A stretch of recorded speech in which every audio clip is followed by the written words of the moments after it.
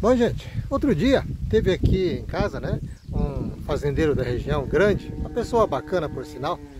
É, é um que eu mostrei um, um, um vídeo sobre, é, de confinamento dele. Então ele estava me dizendo que ano passado confinou mil cabeças de gado, né, ano passado. Mas ele tem mais confinamento fora esse, eu fui nesse local específico. Então ele tem milho plantado, mas é milho para silagem, né, porque tem que preparar silo para esse confinamento. E agora os milhos que estão tudo com espiga, ele falou, vai lá, aproveita para pegar uns milho verde. Então eu vou dar um pulo lá e vamos ver como é que tá os milhos dele, né? Aqui conforme eu estou gravando, sempre entra um, um barulho de gado, que é normal, que aqui tudo quanto é lugar tem gado. Daqui lá deve dar mais ou menos 5 quilômetros, 5 quilômetros e meio. Eu saio da área das cooperativas e começo a entrar na área das fazendas. Então não só a fazenda dele, o dele é o primeiro, mas na sequência tem mais fazenda. Então eu vou para a região das fazendas. Estou no caminho, aliás, eu estou dentro da fazenda já, né? Aí, uma coisa assim interessante, é, aqui tem um jatobá, jatobá do campo, mas é um pé grande, mas está lotado de jabuticá, de jatobá, ele está com a copa bem caída, então está baixo. Olha que bonito, ó. ó. ó. Esse já tá marronzinho, ó. Mas está lotado, né? Aqui, ó. É grande, ó. Lugar que vê, vê jatobá. Ó.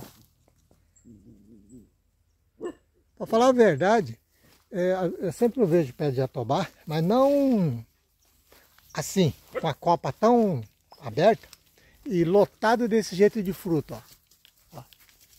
ó veio umas visitas aqui, ó.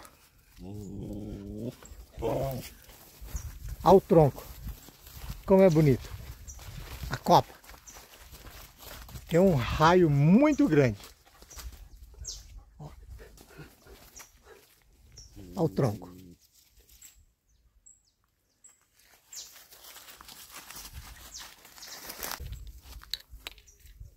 Esse está carregado. Esse está carregado. E a árvore inteira está carregada. Aqui mais um detalhe, né? Tô dentro dessa fazenda ainda. Ainda tô indo, né? Sentido. O milharal tá perto já.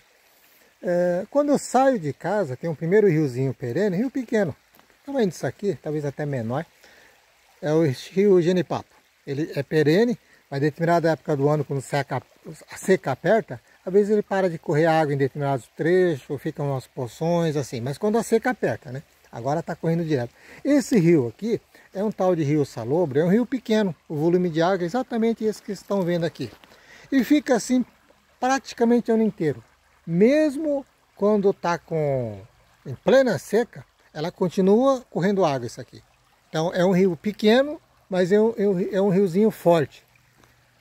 Então aqui é o, o caminho, nós vamos passar com o carro aqui dentro agora. Tem outro caminho oficial, mas aqui, é, digamos que seja mais atalho, mas é um lindíssimo rio. É que não dá para filmar, mas aqui é cheio de peixe também. Ó. E na sequência, indo sentido mais para a área de fazenda, ainda tem mais dois rios, né? Tem o rio Mamoneira e rio Canabrava, que é o maior de todos. Depois todo deságua no Canabrava. Bom, eu estou aqui, né? Chegamos no milharal. Eu sei que essa parte, essa parte de cá, é que não, não dá para mostrar o outro lado. E também não sei quanto de área tem, mas sei que é grande, porque o outro lado tem uma estrada, cruza, e essa parte tem milho plantado. Tudo milho para silagem. Essa parte é a parte nova, que eu sei que tiveram que replantar, que a chuva não chegou no, no período certo, eles plantaram e o milho morreu. Então eles fizeram um replantio aqui nessa área. Né? Mas ele dobra para o outro lado. E nesse lado está os milho mais antigos, onde eu vou pegar as espigas aqui, eu vou entrar já já.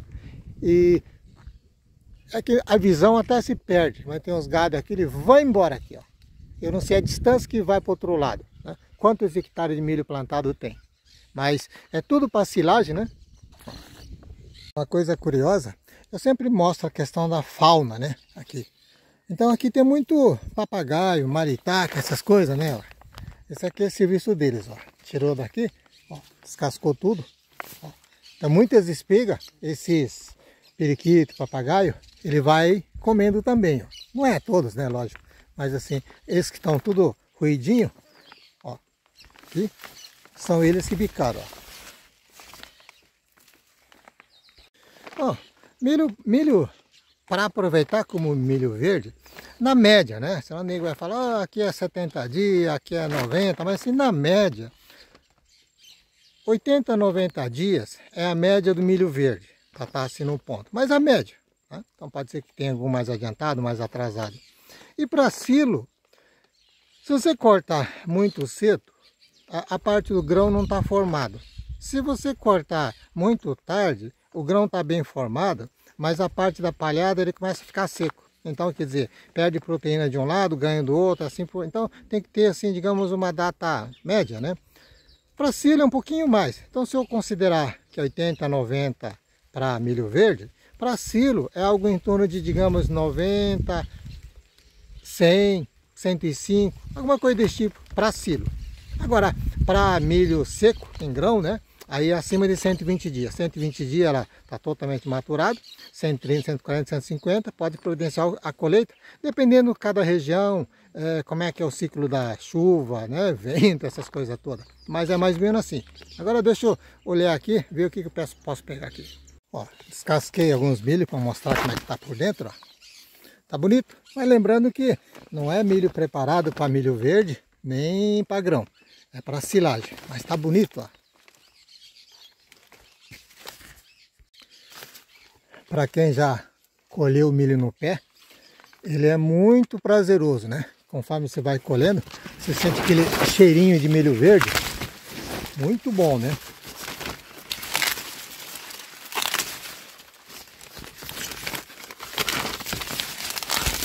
Também milho verde. Não adianta a gente colher muito, porque estraga, assim, endurece rápido, né? Então tem que tirar o necessário e depois, se tiver oportunidade, pega mais. Deixa eu desligar aqui, senão não vai me render. Ó, peguei o necessário. Tá indo embora aqui, ó. A chuva tá chegando ali, ó. Não sei se dá para enxergar aquele branco ali, é chuva. Aliás, está até começando a cair uns pinguinhos.